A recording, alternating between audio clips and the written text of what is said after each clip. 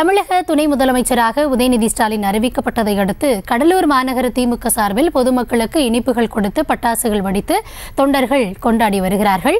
இது குறித்தான விவரங்களோடு நேரலையில் இணைகிறார் எம்முடைய செய்தியாளர் பாரிவள்ளல். பாரிவள்ளல் வணக்கம். அங்கு தொண்டர்கள் எவ்வளவு உற்சாக மிகுதியில் இருக்காங்க? அங்கு என்ன மாதிரியான ஒரு சூழல் நிலவுகிறது? கள நிலவரம் என்ன?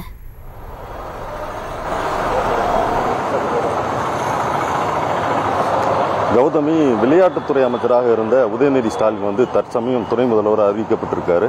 இதை கொண்டாடும் வகையில் பார்த்தீங்கன்னா கடலூர் மாநகராட்சி ச- திமுக சார்பாக வந்து இப்போ தொண்டர்களுக்கு இனிப்பு கொடுத்து பட்டாசு வெடித்து அவங்க வந்து தங்கள் மகிழ்ச்சியை தெரிவித்தாங்க இந்த நிலையில் பார்த்தீங்கன்னா இப்போ நம்ம பகுதியில் வந்து கடலூர் மாநகர மாநகராட்சி மேயர் சுந்தரி ராஜா இருக்காங்க.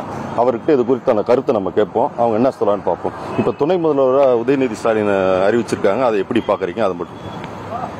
அவர் இளைஞரணி அமைப்பாளராக இருந்து அவருக்கு விளையாட்டுத்துறை அமைச்சர் கொடுத்தப்பவே எங்களுக்கு மிகுந்த சந்தோஷம்.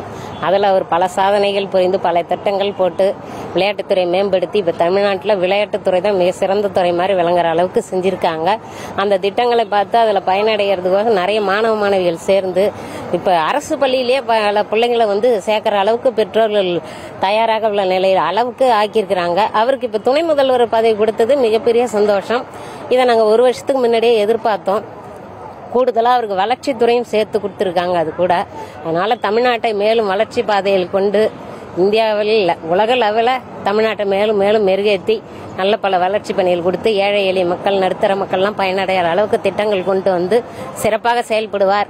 நம்பிக்கையோடு நாங்கள் இருக்கிறோம். வாழ்த்து எங்களுடைய கழக இளைஞரணி செயலாளர் அண்ணன் உதயநிதி ஸ்டாலின் அவர்கள் இன்னைக்கு விளையாட்டுத்துறை அமைச்சராக இருந்து எங்களுடைய கழக தலைவருக்கு தான் முதல்ல நன்றி சொல்லணும். தமிழ்நாட்டின் முதலமைச்சர் அண்ணன் தளபதி அவர்களுக்கு நன்றியை சொல்லிடுறோம்.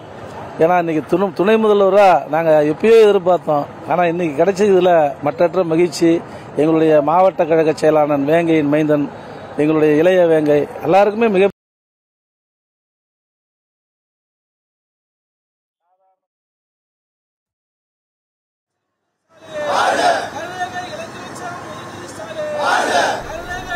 களத்திலிருந்து விவரங்களை வழங்கியமைக்கு நன்றி பாரிவல்லல்.